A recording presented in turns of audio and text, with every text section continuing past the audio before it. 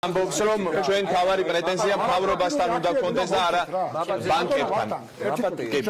ეხლა ყველას არაპროფილური აქტივები ნუ დავამთავროთ ერთხელ სამ. მე გეტყვით რამეს. სტატისტიკა ამას დავინტერესებს ხათაშურის, იმიტომ რომ ეს თემა არის ბოლო წლებში გაბუქული ფაქტურად და უტრირებული და გეტყვით რა. მაინტერესებდა საქართველოს ბანკის პორტფელში, გარდა იმ M2 კვადრატისა რამცენ სულ არის ლაპარაკი რომ ეს არის საქართველოს ბანკის შვილობილი კომპანია და შემდეგ რამდენ კომპანიაზე უკვე გაცემული ფული. ანუ პორტფელში რა კომპანიები დაფინანსდნენ? დაახლოებით 40-მდე დეველოპერული და სამშენებლო კომპანია დაფინანსებული, საერთოდ საქართველოს ბანკს არც პირდაპირ, არც არაპირდაპირ არ არის შეხება არა. ამიტომ მე ლაპარაკი ესე. ეს თემები არის მუდმივი, რა და დავამთავროთ ეს თემა, რატომ? არაპროფილურ აქტივებზე თუ ვამბობთ, გეუბნებით არის ჰოლდინგი. ასე ჩვენ უნდა ვისაუბროთ პორტფელში სხვებს მიცეს პული თუ არ მიცეს დაიჩაგრა კონკურენტი თუ არ დაიჩაგრა და თუ ამ თემას ესე არ გავჩნით ესე ემოციაზე ლაპარაკი კონტი შეიძლება ბატონი ბენა. დიდი მადლობა ხაზი გაუსვა რომ პრაქტიკულად ქალბატონებმა მე მგონი გვაჯუბეს ორივე მხარეს რა. მე გარკვეულ ნაწილში დიდ ნაწილში ვეთანხმები ვეთანხმები აბსოლუტურად, რომ არის მაგის რისკი, მაგრამ არის რაღაც არგუმენტები, ახლა მე არ წავალ დეტალიზაციაში, მე მინდა ძალიან ხაზგასმით გითხრათ, რომ რა თქმა უნდა, კრიტიკას იმსახურებს. არ ვიცი ჯეოლაინის ფირმა რომელმაც ჯეოკაპიტალი კი ბატონო მაპატიეთ ეს არ არის ბანკი. მაპატიეთ ბოდიში მე არ მე არ გაგაწყვეტინა ჩემო კარგო. ქალბატონმა ანამ რომელმაც ნულიდან დაიწყო. წელებზე ფეხი დაიდგა და შექმნა ბანკების მეშვეობით კერძო ბიზნესი. ხომარულე ვანა რამეს და მე ვიცი, რაღა მოუყვები, რომ აი თოხით ლაფატკით მუშაობდა მიწაზე და ესე შექმნა ის ბიზნესი, რომელიც დღეს აქვს. მან შეძლო ბანკების მეშვეობით. ეხლა ის რომ ჩვენ ანა გვირჩევნია 5% გადავიხადოთ და არა 10, მე მგონი ამას არც განვიხილავთ. მე მინდა ახალგაზრდებმა გაიგონ რომ ბატონმა მიხეილმა გაუსვა ხაზი და დავეთანხმები ბატონ იაგოს რომ ბანკებმა უნდა დაიცვან საერთაშორისო სტანდარტები. თუ არა აქ შემოსავალი არ უნდა მოგცენ ხა წარმოიდგინეთ. ამით აი ამ ბავშვებს ბოდიში და შემდეგ აირია ბიჭა მაგაში მით უმეტეს ამით ამ ბავშვებს ჩვენ საერთოდ უსპობთ როგორ უნდა დაიწყო ბიზნესი დღეს ეხა თუ ცუკერბერგი ხარ და მოიფიქრებ რამე Facebook-ზე ერთ კომპიუტერით შეძლებ მილიარდები შოვნას, კი ბატონო, მაგრამ სხვანაირად, ესე იგი ბიზნესაც ვერ დაიწყებენ. მაშინ ჩაერთო ფინანსთა მინისტრი. ფინანსთა მინისტრი ჩაერთო, როგორ ჩაერია ბანკების მუშაობაში ეს როგორ შეიძლება? შიაქო, აა, შეკრულები არიან თუ შიაქო. მოდი რაღაცა გამოსავალი ხო უნდა ვნახოთ. ვაღიარებ, ბატონო ლაშა, თქვენ რო თქვით, ბანკებისთვის თავარია ფული. რა ვქნა, ეგეთი რეალობაა ხალხო, გაუსწოროთ ამას თვალი, რომ ბანკებისთვის თავარია ფული. ადამიანობა, ქველმოქმედება, ეს უკვე მოვთხოვოთ სახელმწიფო პირებს, სტარტაპების პროგრამას, რომელიც დაწყებულია და ეხა რაღაც სხვა მასშტაბში გადავიდა, ვერც გავერკვია რა მასშტაბში, მაგრამ განცხადება იყო გაკეთებული ოფიციალური და ესეთ რამეს გეტყვი ბატონო გოგი და მიმართავ ყველა თქვენაირ ადამიანს შრომელს აი ეგ ჯიგრულად რო ტაში დაგიკრეს აქ ყველმანა. აი რო ამბობს ქალბატონი რო დააკვირდით ხალხ რო 100 ლარში თუ 500 გთხოვთ ეს 500%-ია 500% მოგთხოვათ ვიღაც ჯეოლაინმა. ნუ მოუწერთ ხელს არც SMS-ზე უპასუხოთ.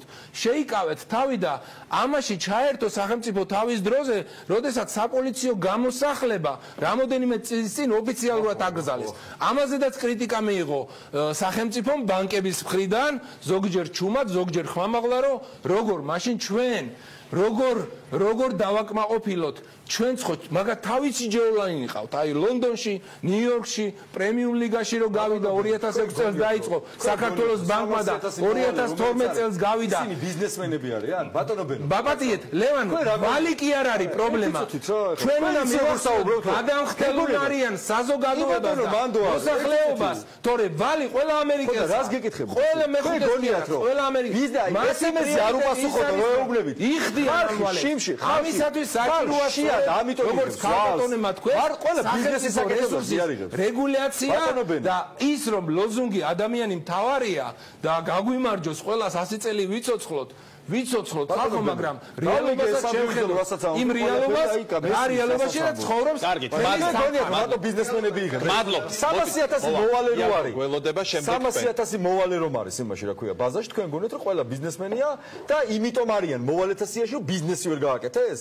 თუ SMS-ი მიუვიდათ და გაიცნენ და უცებ ფული გამოიტანეს მათი უმრავლესობა ადამიანებს შია და იმიტომ ესხულობენ აფოს როცა ვლაპარაკობ ბანკებზე კი არა ლაპარაკი კიდე ხაზი მინდა გაუსვა. საბანკო სექტორს კი არ ვებძვი იმ მონოპოლიებს და იმ მაფიოზურ გარიგებებს რომელიც აი ამ სამი მონოპოლია ბანკი. შეიქმნა, რომელი ბანკი, ახალი ბანკი შეიქმნა. აი რას გეტყვით ყველა ის ბანკი, რომელიც არსებობდა, პოლიტიზირებული. ამიზერებ ფუნქციონირებას. თქვენ დროს რომელიც შეიქმნა. ძალიან ცუდი იყო ეს ხალხი თავის დროზე წინა ხელის ჩვენ იგივენაირად მოვექცეთ დავახშოთ ვინ ბანკები. ვინ დაახშო ხაზარაძე გავს დამხჭვა საქართველოს საქართველოს ბანკი. რას ხელაპარაკ ხაზარაძე გავს დამხჭვა რას ლაპარაკ რას ხაპარს ყო რას ხაპარს ხაზარაძე გავს დამხჭვა ჩვენ კარგად არა ერთ ბატონი იაგო, პოლიტიკა რო არის პოლიტიკა რო არის ამაში ვახო თავისა. დამარტივამეს ახლა უკაცრავად ყველა საუბრობს შეხედეთ. 5 წუთი და 30 წუთი მასაუბრე ლევან. პოლიტიკაზე ახლა ვიღაცებს მისვენეთ არ საუბრობს ეს ხალხი ჩვენ გვაქვს კიდევ ერთი რეკლამა მას შემდეგ თქვენც არა აზრი თუ არ ექნა რასაც უბრალოდ არ უპასუხებ ბატონი იაგო ბანკს ვიტყვი რა პირველი საბანკზე გასაგებია. ბანკს კი არ ბანკს კი არ გავიგე რომ ბანკს არ არის არ ვერჩი სახელმწიფოს მათ შორის პოლიტიკას და ადამიანი რომელიც აქ შეგვეცე დგას ჩემ პოზიციას კი არ იცავს ეს კაცი ეს კაცი იცავს სახელმწიფო პოზიციას რატო იცი ეხა ბანკებს თავისივე შექმნილ მაფიაზე იძახიან რომ ეხა ჩვენ უნდა გავწეთ იაპი კრედიტებიო 300 მილიონი ამის გაპროებას აკეთებს ეხლა კარგი მოგცეთ კიდევ სიტყვა შემაჯამებელი სიტყვებით გეკნება არ გამოვა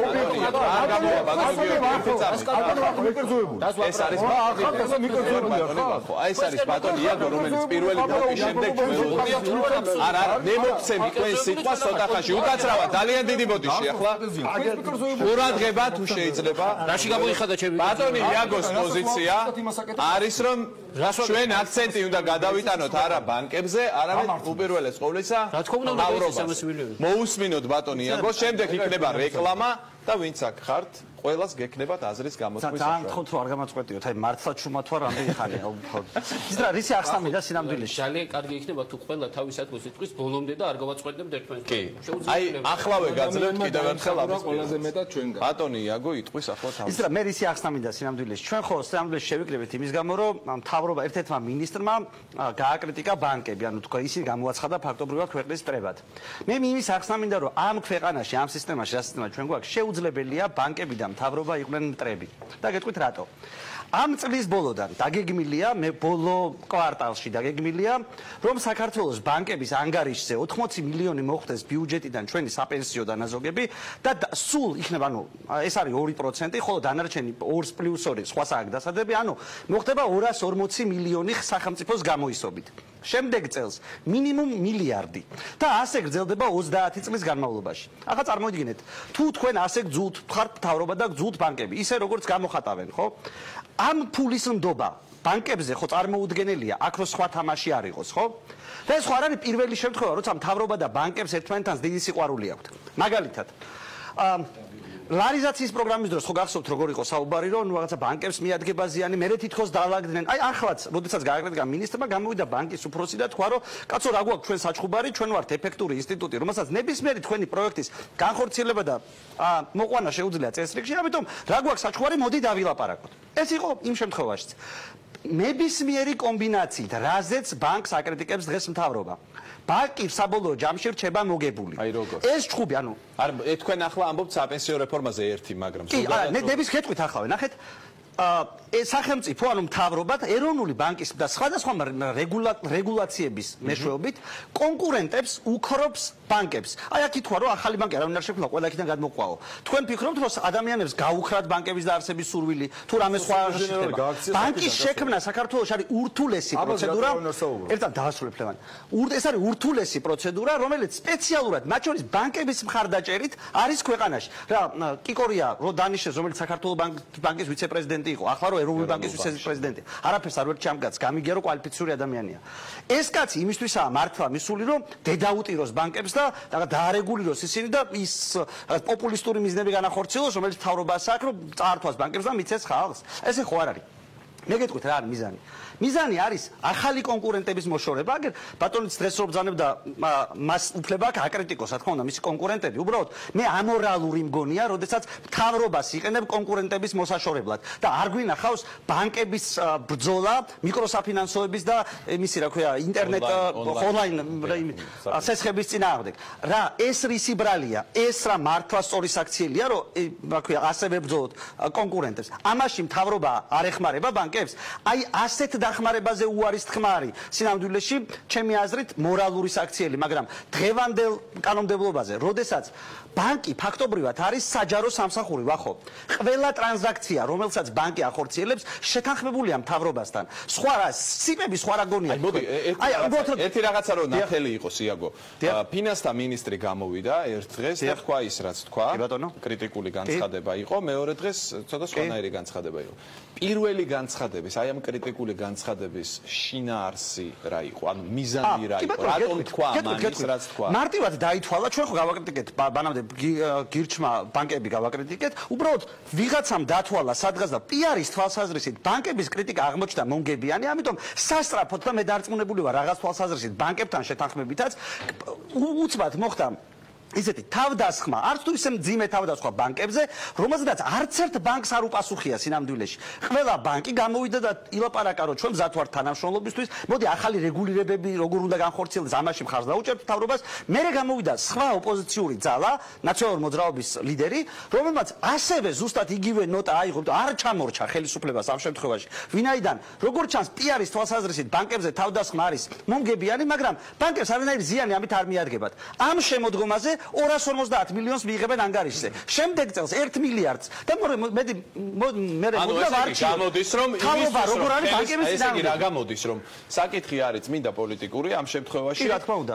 და იმისთვის რომ ეს ველი, ანუ ბანკების ველი არ დაუთმოს ხელისუფლებამ ოპოზიციას წინასაარჩევნოდ, ამიტომ გაკეთდა ეს განცხადება. კი რა თქმა უნდა და კიდევ ერთ არგუმენტს გეტყვით ამისთვის. აი ნახეთ ბანკებ ამ ეროვნულ ბანკს ხო უბრალოდ არაფერი არ შეუძლია, ნაბიჯის გადადგმა არ შეუძლია ბანკების გარეშე. ბოლომდე არის ბანკებზე დამოკიდებული. ის რო ფულს აჩენს და მე რო ბანკებს აძლევს, საზოგადოებაში გასაშვებად. აი ამ აი ამ პროცედურას ბანკების garaში ხო ვერ გააკეთებს. ანუ დამატებით ფულს, რომელიც მან უნდა ხარჯოს და ინფლაცია გამოიწვიოს ამავდროულად, ბანკების garashi ხო ვერ გააკეთებს. შესაბამისად, აი უბრალოდ სასაცილოა ეს მთავრობა ასეთი არ გულისხმობ ბიძინა ივანიშვილის ხმა თუ მიხეილ სააკაშვილის. ნებისმიერი ორივე, ერთის და მეორეც.